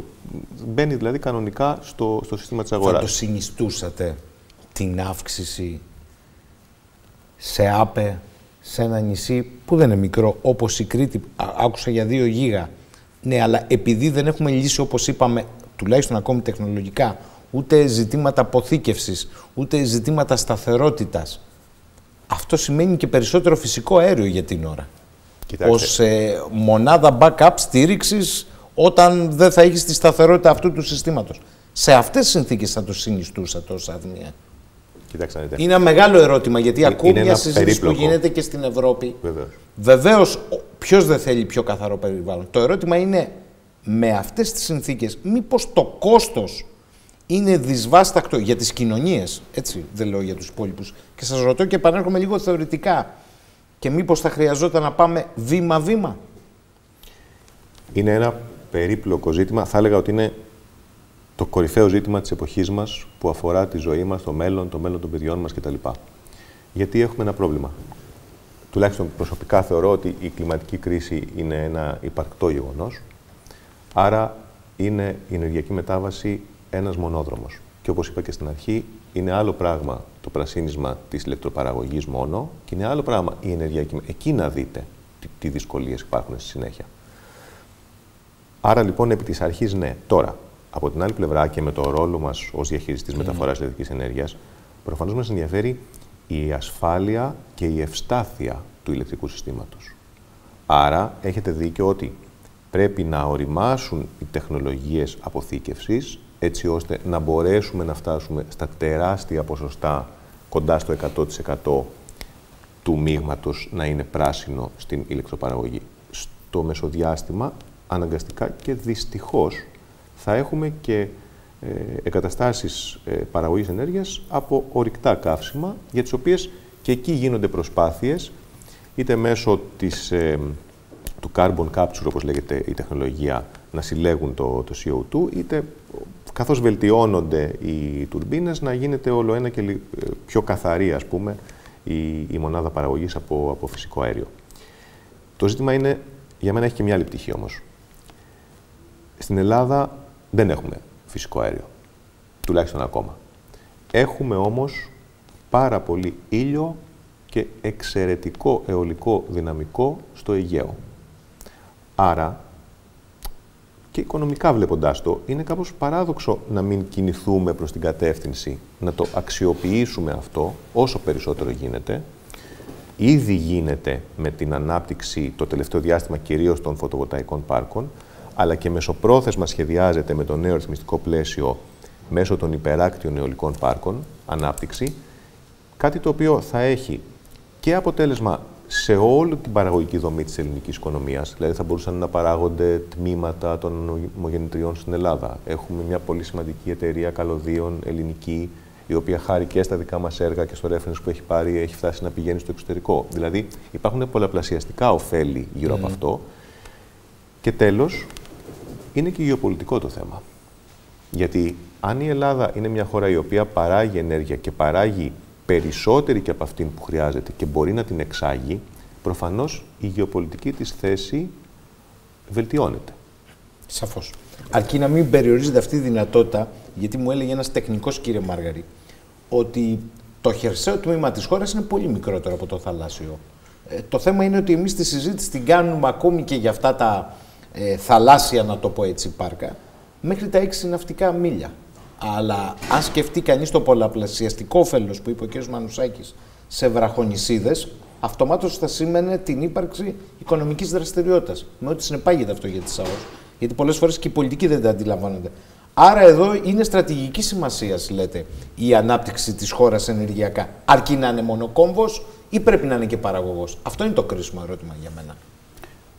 Πάρα πολύ κέριο και ε, είμαστε μόλις εκεί που έχει γίνει αυτή η στροφή. Από εκεί που mm συζητάγαμε να είμαστε κόμβος, ε, τουλάχιστον στο δικό μας κομμάτι αυτή η συζήτηση αφορούσε τις διασυνδέσεις με τις άλλες χώρες από τη Βόρεια Αφρική, Μέση Ανατολή που αναφέραμε προηγουμένως. Τώρα η συζήτηση έχει πάει στο πώς θα γίνουμε εξαγωγέας πράσινης ενέργειας, γιατί όλο αυτό το δυναμικό που υπάρχει στις θάλασσες, όχι ότι της υπηρετικής Ελλάδας είναι μικρό, είναι μικρό σε σχέση με άλλες αγορές, αλλά είναι μεγάλο σε σχέση με τις ανάγκες της χώρας. Δηλαδή έχουμε πολύ περισσότερο αιωλικό και φωτοβολταϊκό δυναμικό από αυτό που θα καταναλώσουμε εμείς. Αν σε αυτό προσθέσουμε το θαλάσσιο αιωλικό δυναμικό, το γεγονός δηλαδή ότι στο Αιγαίο φυσάει τόσο πολύ που μπορείς να παράξεις ηλεκτρική ενέργεια και μέσω καλωδίων να την εξάγεις προς το εξωτερικό, ε, είναι ο λόγος, ε, έχει παίξει τεράστιο ρόλο και στην ε, στρατηγική τη δική μας για τις διασυνδέσεις προς τη Βόρεια Ευρώπη. Δηλαδή η διασύνδεση καινούργια που έχουμε προτείνει μεταξύ Ελλάδος και Γερμανίας, το λεγόμενο Green Aegean Interconnector, το οποίο είμαστε τώρα στο στάδιο των μελετών, της διαβούλευσης με όλους τους άλλους διαχειριστές και με τη Γερμανία, έχει ακριβώς στο πίσω μέρος του μυαλού του ότι το αιωλικό δυναμικό από το Αιγαίο μπορεί να παράγεται και όταν δεν το καταναλώνουμε εμείς εδώ ε, εκείνες τις ώρες να το στέλνουμε προς τα έξω. Ε, τα υπεράκτια πάρκα θα υλοποιηθούν, καθυστέρησαν σε σχέση με τη βόρεια ευρωπαϊκή θάλασσα που οι θάλασσες είναι ρηχές γιατί εδώ τα βάθη σε εμάς είναι μεγάλα όπως είπαμε, άρα ακόμα και τα 6 μίλια, ε, τα οποία είναι λίγο σε σχέση ενώ με, τη, με, το, με το θαλάσσιο οικόπεδο που έχουμε. Ε, Παρ' όλα αυτά τα βάθη ήδη στα 6 μίλια μπορεί να έχουν φτάσει σε πολλά πολλά μέτρα, εκατοντάδες, το οποίο έπρεπε να φτάσουμε στο στάδιο των πλωτών που λέμε mm. ανεμογεννητριών για να μπορέσουμε να αρχίσουμε να σκεφτόμαστε την εφαρμογή τους. Μέχρι τώρα τα θαλάσσια αιωλικά πάρκα ήταν πάρκα που ήταν ε, κουμπωμένα στο, στο βυθό. Άρα λέτε ότι είναι ένα νέο εντελώς πεδίο. Μιλήστε μου λίγο σας παρακαλώ και ίδιο για την Κρήτη ως σημείο αφετηρίας της διασύνδεσης Ελλάδας-Κύπρου-Ισραήλ και κάποιος θα σκεφτεί είναι τόσο κρίσιμο αυτό; Μπορεί να παίξει στρατηγικά ρόλο και μιλάμε για την ηλεκτρική διασύνδεση έτσι. Ε, κύριε Μανουσάκη, είναι σημαντικό; Κοιτάξτε, το έργο είναι σημαντικό ε, σε πολλά επίπεδα. Το πρώτο και κυριότερο, και γι' αυτό λόγο το χρηματοδοτεί η Ευρωπαϊκή ναι. Επιτροπή με 657 εκατομμύρια από το 1,9 δις που είναι ο προϋπολογισμός του, είναι ότι η Κύπρος, όπως ήταν και η Κρήτη μέχρι το 2021, είναι ένα ενεργειακό νησί και ταυτόχρονα είναι ένα κράτος της Ευρωπαϊκής Ένωσης, το μόνο πια που δεν έχει διασυνδεθεί με την ε, ενεργειακή αγορά της Ευρώπης. Άρα, το ότι εμείς ως εταιρεία, εμείς ως χώρα, διευκολύνουμε αυτή τη διασύνδεση είναι σημαντικό για την Ευρωπαϊκή Ένωση συνολικά. Το δεύτερο είναι ότι η Ελλάδα βοηθάει την Κύπρο και με το ότι είναι σημαντικό οικονομικά για τους Κύπριους καταναλωτές. Δηλαδή, με πολύ απλούς υπολογισμούς μπορώ να δείξω ότι η, το κόστος της ενέργειας που καταναλώνεται αυτή τη στιγμή στην Κύπρο είναι πολύ μεγαλύτερο από το κόστος που θα έχει η ενέργεια όταν θα έχει υλοποιηθεί αυτή η διασύνδεση. διασύνδεση. Η Κρήτη τι κερδίζει από αυτό; Για μένα αυτό που κερδίζει είναι ότι η Κρήτη έχει μια συγκεκριμένη γεωπολιτική θέση και με όλα τα ανησυχητικά που συμβαίνουν, ε, αρχίζει η Ανατολική Μεσόγειος και παίζει έναν πολύ κρίσιμο ρόλο συνολικά. Η Κρήτη και με αυτή τη διασύνδεση βελτιώνει περαιτέρω την ε, γεωπολιτική της θέση στο συνολικό σύστημα. Δηλαδή, πια η Κρήτη είναι ένα μέρος το οποίο, από το οποίο θα εξαρτάται σε αρκετά σημαντικό βαθμό και η ενεργειακή ασφάλεια της Κύπρου, αλλά και του Ισραήλ, το οποίο δεν πρέπει να το υποτιμούμε. Το Ισραήλ, ο, ο λόγος που θέλει αυτή τη διασύνδεση δεν είναι ότι δεν έχει ενέργεια, είναι ότι χρειάζεται ενεργειακή ασφάλεια, γιατί παρότι δεν είναι νησί, ενεργειακά είναι νησί. Και επειδή δεν είναι περικυκλωμένο από φίλους, προσβλέπει στους φίλους προκειμένου σε μια δύσκολη ενεργειακή στιγμή να μπορεί να Άρα είναι, ενέργεια. είναι στρατηγική ασφάλεια εδώ του Ισραήλ η επιλογή. Ε; Ακριβώς. Αυτό μου λέτε με ό,τι συνεπάγεται αυτό, ειδικό, ειδικά για κράτη όπως το Ισραήλ. Και με την Αίγυπτο;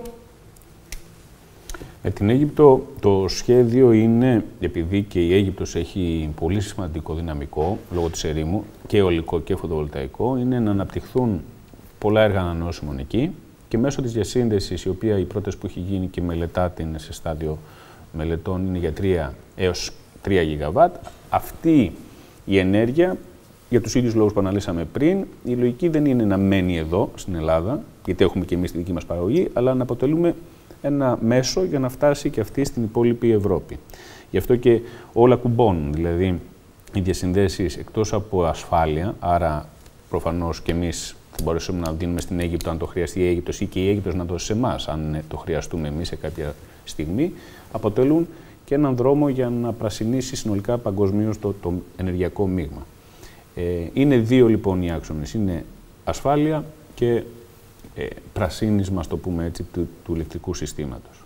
Ε, κρατώ πάντως, και εκεί όχι έσταση, έχω μια διαφοροποίηση. Κρατώ ότι και η Αίγυπτος είναι μεγάλο παραγωγός φυσικού αερίου. Άρα, backup, προσωπικά η Αίγυπτος έχει για τις δικές της ανανεώσιμες πηγές. Και επανέρχομαι. Θεωρείτε ότι η χώρα δεν θα έπρεπε να έχει, έχετε εμπειρία; Δεν σας ζητώ να πολιτικολογήσετε, αλλά μιλώντας θεωρητικά επιστημονικά, δεν θα έπρεπε να εξετάσει με πιο γρήγορο ρυθμό τη δυνατότητα αυτό το ενεργειακό καύσιμο μετάβασης, να το πω έτσι. Το φυσικό αέριο ως backup μέχρι να λύσει η τεχνολογία που λέγαμε τα αποτελέσματα, να το έχει. Διάβασα πρόσφατα μία ε, ανακοίνωση και ήταν και ο Αδμιές αυτή την ανακοίνωση ότι ήδη πάνω από τη μισή ενέργεια που παράγεται στη χώρα προέρχεται από καθαρές ε, πηγές. Ε, φαντάζομαι ότι αυτό αφορά και την κατανάλωση, δηλαδή καταναλώνουμε πάνω από μισή ε, ενέργεια από καθαρές πηγές ή εννοείται σε σχέση με τα προηγούμενα χρόνια. Θα ήθελα μια διευκρίνηση εδώ. Αφορά το ηλεκτρικό σύστημα. Α. Το 55% κατά μέσο όρο αυτή τη στιγμή του μείγματος στο ηλεκτρικό σύστημα είναι πράσινο. Όπως είπα προηγουμένως, ενέργεια καταναλώνουμε και εκτός του ηλεκτρικού συστήματος. Πάρα Βα, πολύ... Βάλτε τις μεγάλες βιομηχανίες ναι, για, πάρα για πολύ σημαντική. Άρα δεν είμαστε εκεί. Τώρα, εδώ πρέπει να απαντήσουμε με ένα μείγμα και οραματισμού και ρεαλισμού. Δηλαδή, από τη μία πλευρά είναι μονόδρομος η ενεργειακή μετάβαση, από την άλλη πλευρά το κάθε έργο πρέπει να το βλέπουμε και σε σχέση με τα, το κόστος όφελος που έχει το ίδιο το έργο για τους πολίτες και για τη χώρα. Δηλαδή, το να κάνουμε ένα έργο εξόριξης φυσικού αερίου πρέπει να εξετάσουμε τι σημαίνει οικονομικά, ποιο είναι το κόστος της εξόριξης, ποια είναι η τιμή που θα έχει, θα μπορεί να συμμετέχει στην παγκόσμια αγορά ή όχι. Και αν το δούμε από τη γεωπολιτική του πλευρά, να εξετάσουμε ποια θα είναι τα ωφέλη που θα μας προσφέρει. Στην άλλη πλευρά της ζυγαριάς πρέπει να βάλουμε το CO2 που παράγεται, τη μόλυνση, το μέλλον, το δικό μας, των παιδιών μας κτλ. Και να πάρουμε την απόφαση μέσα από ορθολογικό διάλογο ως κοινωνία, το τι θέλουμε να κάνουμε. Πάντως, αυτή τη στιγμή, εάν πάμε στο γεωπολιτικό, θα μπορούσαμε να πούμε ότι αν βάλουμε υπεράκτια αιωλικά πάρκα στα σημεία που μας ενδιαφέρει εθνικά, δημιουργούμε βιομηχανικές εγκαταστάσεις τέτοιες που από γεωπολιτικής άποψης η δουλειά έχει γίνει, ας πούμε. Οπότε νομίζω ότι είναι ένα περίπλοκο θέμα, δεν πρέπει να έχουμε μια τοποθέτηση Προφανώς είναι περίπλοκο. Και πρέπει να το εξετάσουμε στη συγκεκριμένη χρονικότητα που είμαστε τώρα, στην, με βάση την τάση των πραγμάτων και μέσα από ορθολογικό διάλογο να καταλήξουμε στο πού θα πάμε. Κύριε Μάργαρη, πριν πάμε στην τελευταία διακοπή για απόψε, αν θέλετε να συμπληρώσετε κάτι επί αυτών που ακούστηκαν. Όχι, απλά να πούμε ότι το πόσο γρήγορα ή αργά θα γίνει η ενεργειακή μετάβαση είναι όντως δύσκολο ερώτημα. Δηλαδή δεν υπάρχει μία απάντηση. Υπάρχουν ρίσκα, υπάρχουν κίνδυνοι, αλλά η επιλογή έχει ληφθεί υπό το πρίσμα της κλιματικής αλλαγής. Αν κάποιος δεχθεί ότι υπάρχει κλιματική αλλαγή, συμφωνεί αμέσως ότι η ενεργειακή μετάβαση είναι η πρώτη προτεραιότητα. Το αν αυτό πρέπει να γίνει τώρα σε δύο χρόνια ή σε τέσσερα ή σε έξι, είναι μια άσκηση οικονομική, η οποία έχει ένα αποτέλεσμα και η οποία βέβαια πάντα υπάρχουν και δεδομένα που ανατρέπουν ε, σταδιακά την εικόνα. Ξεκινάει ένας πόλεμος, αλλάζουν οι τιμές. Σταματάει ένας πόλεμος, πάλι αλλάζουν οι τιμές. Αλλά είναι μονόδρομος ότι πρέπει να πάμε σε ένα σύστημα το οποίο θα έχουμε διασυνδέσεις, αποθήκευση, πράσινη ενέργεια. Πάω στην τελευταία διακοπή και επανερχόμαστε. Τελευταίο μέρος των αντιθέσεων, απόψε. Στην ουσία μιλάμε με τον πρόεδρο και τον αντιπρόεδρο του Διοικητικού Συμβουλίου, του ΑΔΜΙΕ. Θέλω να σας ρωτήσω, επειδή συζητάμε εδώ για διασύνδεση Κρήτης, Κύπρου, Ισραήλ, διασύνδεση Ελλάδας-Αιγύπτου, μέσω Κρήτης πάλι, αν αντιλαμβάνομαι σωστά, δεν ξέρω αν έχετε να μου πείτε κάτι άλλο. Η διασύνδεση... Όχι, είναι απευθείας Αττική Αίγυπτος. Απευθείας, α, θα μας παρακάμψατε κύριε. λοιπόν, Παρ' όλα αυτά γίνονται σε ένα, το είπατε κι εσείς, γεωπολιτικό σύμπλοκο εξαιρετικά ρευστό και ασταθές. Το έχετε λάβει υπόψη σας, σας προβληματίζει, διότι η καλή εκδοχή είναι η νοτιοανατολική Μεσόγειος να γίνει φορέας ανάπτυξης και ευημερίας. Συνήθως όμως αυτή η περιοχή στο τέλος έχει μια κακοδαιμονία πολέμων και μεγάλων συγκρούσεων. Το έχετε λάβει υπόψη σας αυτό το περιβάλλον, κύριε Μανουσάκη; Βεβαίως, έχετε δίκιο ότι έτσι είναι τα πράγματα. Να προσθέσω και την Ερυθρά, συγγνώμη που σας διακόπτω θάλασσα τώρα, που αποκόπτει στην ουσία το ΣΟΕΣ. Δηλαδή, μία ομάδα οργανωμένη καλά, δεν ξέρω αν είναι αντάρτες ή χούτι ή είναι στην ουσία διακυβέρνηση. 2.000 χιλιόμετρα μακριά από το Σουέζ, 2.000 χιλιόμετρα. Έχει προκαλέσει θέμα στις διεθνείς μεταφορές και όχι μόνο. Κύριε Σεχίνη, θα συμφωνήσω από μαζί σας ότι είμαστε σε μια κατάσταση η οποία γίνεται όλο ένα και πιο ανησυχητική. Από την άλλη πλευρά, αυτό προσωπικά θεωρώ ότι δεν πρέπει να μας κάνει να σταματάμε τα σχέδια τα οποία τελικά θα ευνοήσουν την οικονομική ανάπτυξη και στο τέλος τέλος την ειρήνη. Τι εννοώ; Η διασύνδεση μεταξύ δύο κρατών είναι μία εμπορική συνεργασία η οποία αμβλύνει τις γεωπολιτικές αντιθέσεις που υπάρχουν. Δηλαδή είναι ένας τρόπος συνεργασίας. Κατά αυτή την έννοια, θεωρώ ότι ο ρόλος μας είναι θετικός στο να αναπτύσσουμε τέτοια έργα. Αν το δούμε τώρα από την οπτική γωνία της Ελλάδας. Η Ελλάδα τα τελευταία χρόνια κοιτάζει περισσότερο προς τη Μέση Ανατολή από ό,τι κοίταζε στο παρελθόν ανεξαρτήτως κυβέρνησης. Μετά υπάρχει η ιδιαιτερότητα της σχέσης μας με το Ισραήλ, που είναι πάρα πολύ κρίσιμη. Υπάρχει η σχέση μας με την Αίγυπτο, με την ΑΟΖ, τρεις για μένα κρίσιμες χώρες στην περιοχή είναι η Ελλάδα, το Ισραήλ και η Αίγυπτος.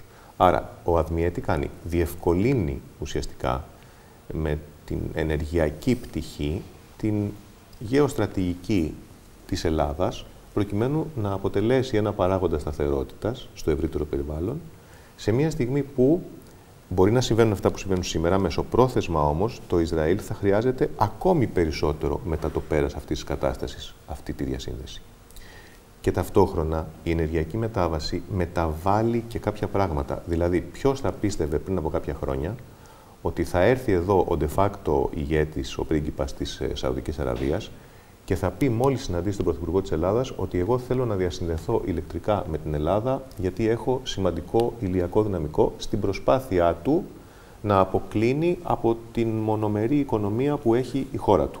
Αυτά είναι ευκαιρίες τις οποίες Βέβαια, με, λογική και, και συντηρητικά πρέπει να τις βλέπουμε, αλλά πρέπει να τις εξετάζουμε και να κάνουμε ό,τι περισσότερο γίνεται προκειμένου η χώρα μας να ισχυροποιείται σε αυτό το κομμάτι της γης που μας αντιστοιχεί να παίζουμε κάποιο γεωπολιτικό ρόλο. Φαντάζομαι δεν διαφωνείτε, παρά τα ρίσκα που υπάρχουν.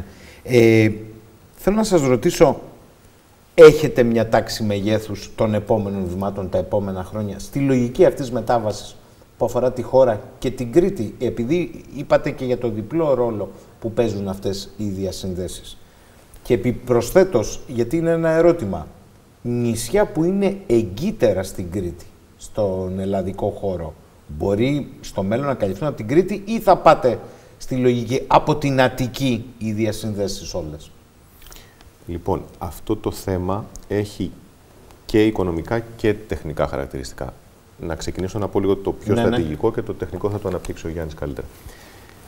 Α πάρουμε καταρχήν την Ελλάδα. Όπως είπαμε πριν, είμαστε χαρούμενοι που πλέον βλέπουμε ότι υπάρχει μια σαφή στρατηγική που αφορά την παραγωγή ενέργειας της Ελλάδας. Εμείς αυτό θα το διευκολύνουμε με κάθε τρόπο. Ε, πρόσφατα είπαμε, προτείναμε και το, το Ελλάδα-Γερμανία στην Ευρωπαϊκή Επιτροπή. Σε ό,τι αφορά την Κρήτη, η Κρήτη αυτή τη στιγμή είναι, γίνεται διασυνδεδεμένη με το σύστημα, άρα οι παραγωγικές δυνατότητές της αυξάνονται απευθείας και ταυτόχρονα έχει ένα δεύτερο δρόμο που οριμάζει με την Κύπρο, άρα και η ασφάλειά της αυξάνεται με βάση αυτό. Σε ό,τι αφορά τα νησιά, έχουμε ήδη ε, διασυνδέσει το σύμπλεγμα των κυκλάδων, ουσιαστικά τελειώνουμε τώρα και τις νοτιοδυτικές κυκλάδες και μένουν τα Δωδεκάνησα και το βορειοανατολικό Αιγαίο. Ο σχεδιασμός μας αυτή τη στιγμή είναι να πάμε από την Αττική στα Δωδεκάνησα, είναι τεχνικό το ζήτημα, θα εξηγήσει ο Αντιπρόεδρος γιατί, και να πάμε από τη Βόρεια Ελλάδα να διασυνδέσουμε τα νησιά του Βορειοανατολικού Αιγαίου. Υπάρχει το ζήτημα της διασύνδεσης ανάμεσα στην Κρήτη και τα Δωδεκάνησα που συνεχίζει να μελετάτε. Πάντως, όσο η μελέτη κόστους ωφέλους δείχνει ότι είναι καλύτερα να συμβεί μια διασύνδεση, όσο πυκνότερο γίνεται το σύστημα των διασυνδέσεων, τόσο μεγαλύτερες δυνατότητες εξαγωγής πράσινης ενέργειας δημιουργούνται και τόσο βελτιώνεται η ασφάλεια του ηλεκτρικού συστήματος και τοπικά και εθνικά. Δεν έχω να προσθέσω πολλά. Το μόνο είναι ότι, γιατί τα 12, το μόνο που είχαμε και μελετάμε ακόμα, η διασύνδεση των δωδεκανήσεων με την Κρήτη, ε, είναι ένα θέμα το οποίο, ε, χωρίς να γίνω πάρα πολύ τεχνικός, Όταν έχεις δύο διασυνδέσεις συνεχούς ρεύματος, μία από την Αθήνα στην Κρήτη και μία από την Αθήνα σχεδόν στα Δωδεκάνησα, το να συνδέσεις μεταξύ τους τα Δωδεκάνησα και την Κρήτη έχει κάποια τεχνικά θέματα ως προς τη λειτουργία αυτών των συστημάτων που ακόμα προσπαθούμε να το απαντήσουμε. Εμείς θα θέλαμε, σαν ΑΔΜΙΕ, γιατί όσο περισσότερους βρόχους έχουμε και δρόμους, τόσο πιο ασφαλές είναι για τα συστήματα. Και οι διασυνδέσεις δεν θα τελειώσουν εδώ. Δηλαδή, αυτό είναι το δεκαετές πρόγραμμα ανάπτυξης που έχουμε μέχρι το 2031. Έτσι. Η ζωή συνεχίζεται. Και συνεχίζουμε να σχεδιάζουμε. Δηλαδή, αυτά που λέγαμε πριν, θα έρθουν τα υπεράκτια και σε τι μεγέθη. Όταν έρθουν τα υπεράκτια πάρκα, τα θαλάσσια, και φύγουμε από τα νούμερα που συζητάμε τώρα και πάμε για τα νούμερα του 2040. Προφανώς θα χρειαστούν και άλλες διασυνδέσεις υποθαλάσσιες με όλους τους πιθανούς συνδυασμούς μεταξύ των συμπλεγμάτων των νησιών και της υπηρετικής χώρας. Κύριε Μαργαρή, επειδή είπατε συμπλεγμάτων, δεν ξέρω τεχνικά αν είναι εφικτό. Στη διασύνδεση με τα 12 νησιά είναι μέσα και το σύμπλεγμα του Καστελορίζου ή είναι ε, λόγω των βαθών και των αποστάσεων εκεί είναι ένα άλλο θέμα; Ε, εμείς ως ΑΔΜΙΕ διασυνδέουμε τα νησιά που έχουν από ένα μέγεθος και πάνω το φορτίο τους δηλαδή είναι τέτοιο που η άσκηση που λέγαμε πριν η οικονομική περί κόστους και mm. ωφέλους, βγάζει θετικό αποτέλεσμα. Τα μικρότερα νησιά ως φορτία θα τα διασυνδέσει, τα διασυνδέει ο ΔΔΕ. Δηλαδή, εμείς πάμε, ας πούμε, στην Άξο, ο ΔΔΕ παίρνει από την Άξο και δίνει στα γύρω-γύρω νησάκια. Ας πούμε, το Καστελόριζο λοιπόν είναι ένα Άρα εδώ πάει κατά αντιστοιχεία ναι. ε, η, ο ΔΔΕ. Θέλω να σας ρωτήσω λιγάκι και για το, και για το σύστημα, διότι λέμε για πράσινη μετάβαση, λέτε για τις δυνατότητες που δίνονται και στα νησιά όπως η Κρήτη για να μπει μεγαλύτερο φορτίο ανανεώσιμων πηγών, κυρίως αιωλικών και φωτοβολταϊκών. Το δίκτυο όμως τα σηκώνει, χρειάζεται και ποιος θα σηκώσει αυτό το βάρος. Διότι αν είμαι εγώ επενδυτής, ε, κύριε Μανουσάκη και κύριε Μάργαρη, με επιδότηση από την Ευρωπαϊκή Ένωση, αλλά για το δίκτυο να το δει άλλος, τι σοϊ επενδυτής σημαίνει ένα ερώτημα. Από την άλλη, το να έχουμε ενεργειακές κοινότητες, την ξέρετε αυτή τη συζήτηση, οι οποίες δεν θα μπορούν να συνδεθούν στο σύστημα. Τελευταίο παράδειγμα το τι συνέβη με το Δήμο έξω από την Καστοριά που είχε, τα πάντα είχε φτιάξει αλλά δεν μπορούσε να μπει στο σύστημα. Είναι μία ή άλλη. Είναι ακριβή επένδυση. Τι εικόνα έχετε γι' αυτό εσείς; Κοιτάξτε. Προφανώς είναι ακριβή επένδυση, έτσι; Σαφώς. Στο... Για τη χαμηλή τάση μιλάω, καταλάβατε. Όχι μόνο, όχι μόνο. Και, για και, και τα δικά μας θα εξηγήσω. Στο, παραδοσιακό ηλεκτρικό σύστημα με τις λίγες μεγάλες μονάδες ορεικτών καυσίμων, έχεις μία αστεροειδή μορφή ε, δικτύου με ένα συγκεκριμένο αριθμό καλωδίων. Όταν έχεις πολλές διάσπαρτες μονάδες παραγωγής, προφανώς τα καλώδια αυξάνονται. Ο, οργανισμό, ο Διεθνής Οργανισμός Ενέργειας έκανε μια μελέτη και βρήκε ότι πρέπει να κατασκευαστούν όσα δίκτυα υψηλής τάσης υπάρχουν μέχρι σήμερα, άλλα τόσα μέσα στην επόμενη δεκαετία, προκειμένου να προχωρήσει η πράσινη μετάβαση με τους ρυθμούς που απαιτεί ο σχεδιασμός που έχει γίνει. Η Ευρωπαϊκή Ένωση ανακοίνωσε ότι θα δώσει 584 δισεκατομμύρια ευρώ σε επιδότηση για την περαιτέρω ανάπτυξη των ηλεκτρικών δικτύων, κυρίως των διεθνών διασυνδέσεων, αλλά και την ενίσχυση των κορμών των δικτύων μέσα στα κράτη της Ευρώπης. Άρα, το δίκτυο θα αρχίσει να αποτελεί ένα μεγαλύτερο παράγοντα κόστους. Αν πάμε δε στη μέση και τη χαμηλή τάση που είπατε πριν, είναι πολλαπλάσιο αυτό που απαιτείται να γίνει λόγω και της ηλεκτροκίνησης, αλλά ταυτόχρονα θα πέφτει το κόστος, θεωρητικός τουλάχιστον μιλώντας, της ενέργειας της, ε, της πράσινης. Γιατί; Γιατί δεν έχει καύσιμο, δεν, έχει το OPEX. Δηλαδή ε, είναι, είναι ε, τσάμπα εντελώς το, το καύσιμο. Ο ήλιος και ο αέρας, δεν πληρώνουμε γι' αυτό. Άρα, από αυτή την ισορροπία εκτιμάται από τους αναλυτές ότι τελικά θα φτάσουμε σε ένα φτηνότερο σύστημα, όμως με μια δύσβατη μεταβατική περίοδο που απαιτούνται ενεργειακές πολιτικές που το κόστος θα πρέπει να μοιραστεί, να το πω, σίγουρα πιο δίκαια από ό,τι μοιράζεται σήμερα. Για να πάμε με ευστάθεια προς τα εκεί. Τι λέτε κύριε Μαργαρία εσείς; Ε, συμφωνώ στο ότι οι ανανεώσιμες πηγές ενέργειας πλέον είναι μια τεχνολογία τόσο όρημη και πλέον έχουν φθηνίνει πάρα πολύ και τα μέσα παραγωγής της. Δηλαδή, η τιμή ενός φωτοβολταϊκού πριν 20 χρόνια για να το κατασκευάσει δεν συγκρίνεται με τις σημερινές. Έχουν πέσει οι τιμές. Που δεν χρειάζεται πλέον να υπάρχει, ας το πούμε αυτό, επιδότηση, ενίσχυση κτλ. Αυτό που τώρα θα χρειαστεί ενίσχυση όμως είναι η αποθήκευση που λέγαμε πριν. Δηλαδή, επειδή είναι ακριβώς μια τεχνολογία στην είσοδό της στο μείγμα. Γι' αυτό και πλέον οι ανανεώσιμες είναι τεχνολογίε οι οποίες συμμετέχουν στην αγορά. Πολλές φορές έχουμε υπερπαραγωγή και βλέπουμε μηδενικές τιμές, το οποίο βέβαια δημιουργεί και μια αντίφαση. Γιατί και οι μηδενικές τιμές είναι καλό είναι, γιατί πέφτει το κόστος, αλλά θέλει και μια διαχείριση μετά οικονομική. Όταν κάποιος παράγει κάτι που κάνει μηδέν, υπάρχει ένα ερώτημα αυτός που το παρήγαγε, γιατί, γιατί το παρήγαγε. Αυτή είναι μια δύσκολη εξίσωση, την οποία αυτή τη στιγμή η Ευρώπη προσπαθεί να λύσει ε, και να σταθμίσει μεταξύ του πόσο γρήγορα να μπουν οι ανανεώσιμες και όταν έχουμε πολλές να, να τις κόβουμε, για παράδειγμα. Ε, και άρα εκεί θα χρειάζεται αποζημίωση ή όχι. Είναι μια άσκηση που θα γίνει. Πόση αποθήκευση να βάλουμε, πόση αποθήκευση συμβαίνει να βάλουμε, έχοντας όμως δεδομένο πλέον ότι τουλάχιστον τα φωτοβολταϊκά και οι ανεμογεννήτριε είναι πλέον τεχνολογίες που δεν χρειάζονται την κρατική ενίσχυση που πήραν τα πρώτα χρόνια εισόδου του στο μείγμα. Και αυτό συμβαίνει σε κάθε, σε κάθε νέα τεχνολογία, ας το πούμε έτσι. Ε, ποια, φτάνουμε στο τέλος και θέλω να σας ρωτήσω. Η Κρήτη για σας είναι, το είπατε, ένα demo τελικός. Και μια πολύ καλή πρακτική, θα έλεγε κανείς, και στα χρονοδιαγράμματα. Η βαθύτερη στόχευση που θέτεται ως πρόεδρος και αντιπρόεδρος ε, για τον ΑΔΜΙΕ είναι πια τι ρόλο θέλετε να παίξει τελικώς. Το ενεργειακό είναι ίσως το πιο κρίσιμο πεδίο ε, σε όλο αυτό το γεωπολιτικό σύμπλοκο αποδεικνύεται. Η μετατόπιση των ενεργειακών πηγών της Ευρώπης την έχει βάλει μέσα.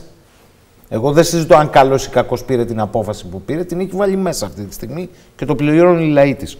Ο ΑΔΜΙΕ λοιπόν, τι ρόλο πιστεύετε ότι πρέπει να παίξει για την ελληνική κοινωνία, για την ελληνική επιχείρηση, για αυτό που συγκροτείται ως Ελλάδα, σε έναν κόσμο που αλλάζει ε, πολλές φορές με απρόβλεπτο τρόπο. Πώς το σκέφτεστε; Είναι πολύ εύστοχη ερώτηση, γιατί είμαστε στην αλλαγή εποχής. Όπως ας πούμε υπάρχει το Artificial Intelligence, έτσι υπάρχουν και οι νέες τεχνολογίες διασυνδέσεων που επιτρέπουν τη μεταφορά μεγάλων ποσοτήτων ενέργειας μεταξύ των κρατών και γι' αυτό αλλάζει και ο ρόλος των διαχειριστών και γι' αυτό και ο ρόλος του ΑΔΜΙΕ για την Ελλάδα όχι μόνο ως ενεργειακή εξωτερική πολιτική, αλλά συνολικά ως οικονομική πολιτική, παίζει πλέον έναν ε, πολύ μεγαλύτερο ρόλο με την ε, έγκαιρη ε, ανάπτυξη του συστήματος, με κόστος ελεγχόμενο, έτσι ώστε να είναι προς όφελος των καταναλωτών. Πέρα όμως από αυτό, η στρατηγική που έχουμε χαράξει και υλοποιούμε τα τελευταία χρόνια, είναι να αξιοποιήσουμε και οποιαδήποτε άλλη υποδομή διαθέτει ο οργανισμός. Δηλαδή, όταν ήρθαμε, είδαμε ότι έχει οπτικές ίνες παράλληλα σε όλα τα καλώδια του. Αυτές δεν, δεν αξιοποιούνταν. Τώρα πια έχουμε φτιάξει μια εταιρεία η οποία είναι διεθνώς αναγνωρισμένη και βραβεύτηκε φέτος ως η καλύτερη εταιρεία τηλεπικοινωνιών ε, στην Ελλάδα για τη φετινή χρονιά. Ε, αναπτυσσόμαστε, προσπαθούμε τώρα να ξεκινήσουμε, στην αγορά των data centers, γιατί με το artificial intelligence θα υπάρχει πολύ μεγαλύτερη ανάγκη data centers και το γεγονός ότι είμαστε δίπλα σε πολύ μεγάλους υποσταθμούς και διαθέτουμε real estate δίπλα εκεί, μας δίνει ένα αναπτυξιακό πλεονέκτημα. Προσπαθούμε να διαχειριστούμε το στόλο οχημάτων που διαθέτουμε, ούτως ώστε να παραχθεί αξία. Νομίζω ότι όλες οι εταιρείες, τα utilities όπως λέγονται, θα κινηθούν σιγά σιγά προς την κατεύθυνση της αξιοποίησης των υποδομών συνολικά και η σημασία τους στην οικονομία θα βαραίνει όλο ένα και περισσότερο. Αυτή είναι η φιλοδοξία μας, αυτό θέλουμε να κάνουμε για την εταιρεία. Κύριε Μάργαρη. Δεν έχω να προσθέσω κάτι. Ε, μια παράπλευρη ίσω στόχευση θα έλεγα είναι ότι έχουμε την ευκαιρία με όλα αυτά τα επενδυτικά σχέδια να δώσουμε και απασχόληση σε ανθρώπους οι οποίοι είναι εξειδικευμένοι, λιγότερο ή περισσότερο, και μάλιστα που πλέον δεν μας φτάνουν για αυτά που έχουμε να κάνουμε και θα προσπαθούμε να βρούμε τρόπους να προσεκτήσουμε και κόσμο από το εξωτερικό, καταρχάς Έλληνες, προφανώς παιδιά που έχουν φύγει τα τελευταία 10 χρόνια της κρίσης, και αυτό όταν το καταφέρνεις είναι, είναι πολύτιμο. Ε, αν μπορούσε να βάλει κάποιος επίλογο, είναι ότι σε 4-4,5 χρόνια ουσιαστικά ε, η Κρήτη θα έχει μια απευθείας διασύνδεση με την Αττική. Το κέντρο διασύνδεσης στην Αττική είναι σε ποια περιοχή; Στον Ασπρόπυργο. Στον Ασπρόπυργο. Ασπρόπυργος λοιπόν, δαμάστα. Το ερώτημα που προκύπτει είναι ότι η εμπειρία αυτών των 4,5 χρόνων συνολικά λέω, σας οδηγεί σε ποιο συμπέρασμα; Μπορεί η χώρα στο ενεργειακό πεδίο να παίξει ρόλο και όχι μόνο κόμβου; Νομίζω ότι είναι ξεκάθαρο πια πώς μπορούμε. Και η απόδειξη γι' αυτό είναι η ταχύτητα με την οποία καταφέραμε να αυξήσουμε όλοι οι παράγοντες της ενεργειακής αγοράς, δεν μιλάω τώρα μόνο για τον ΑΔΜΙΕ, το, ε, το ποσοστό της πράσινης ενέργειας που συμμετέχει στο, στο ηλεκτρικό μείγμα το ελληνικό. Αυτή πραγματικά η μετεωρική άνοδος της Ελλάδας απέδειξε ότι η Ελλάδα μπορεί να αξιοποιήσει το ηλιακό και ολικό δυναμικό της και να μετατραπεί σε εξαγωγέα ενέργειας, κάτι που το χρειάζονται εξάλλου τα βιομηχανικά κέντρα κατανάλωσης της Ευρώπης, ειδικά μετά τις γεωπολιτικές εξελίξεις από το 2022 στο μέτωπο Ρωσίας-Ουκρανίας. Και κύριε Μάργα, να ρωτήσω και κάτι πιο ειδικό. Είπατε ότι έχουμε ανάγκη από κόσμο, ε, αυτό έδειξε η ιστορία, και ευχής έργων και Ελληνόπουλα που είχαν φύγει στα χρόνια της κρίσης να επιστρέψουν. Θέλω να σας ρωτήσω, προκύπτει και ανάγκη εξειδικευμένου τεχνικού προσωπικού; Διότι υποστηρίζω εγώ τουλάχιστον διαχρονικά ότι στην τεχνική εκπαίδευση έχουμε πάει βήματα πίσω, όχι μπροστά. Μας λείπουν οι καλοί εξειδικευμένοι μάστορες, θέλω να το πω έτσι απλά, γιατί μου αρέσει η λέξη μάστορας. Μάστορας δείχνει τεχνίτη με ικανότητες. Σας προέκυψε αυτό; Στις εργασίες; Ε, αυτό είναι η, η μεγαλύτερη πρόκληση που έχουμε ως οργανισμός. Δηλαδή το γεγονός ότι στη χώρα αυτή τη στιγμή δεν υπάρχει το τεχνικό προσωπικό. Γι' αυτό είπα πριν λιγότερο ή περισσότερο εξειδικευμένο. Όταν λέμε εξειδικεύση είναι και ο εναερίτης που θα μάθει να ανεβαίνει πάνω στον πυλώνα και να φτιάξει μια αέρια γραμμή ή ο άνθρωπος που θα ξέρει να χειριστεί ένα καλώδιο. Γι' αυτό και πρόσφατα έχουμε ξεκινήσει την σχολή, τη δική μας ως ΑΔΜΙΕ. Θυμάστε, ίσως η ΔΕΗ πριν δεκαετίες είχε τις δικές σχολές σε όλη την Ελλάδα, τα οποία με τα χρόνια βέβαια σταμάτησαν.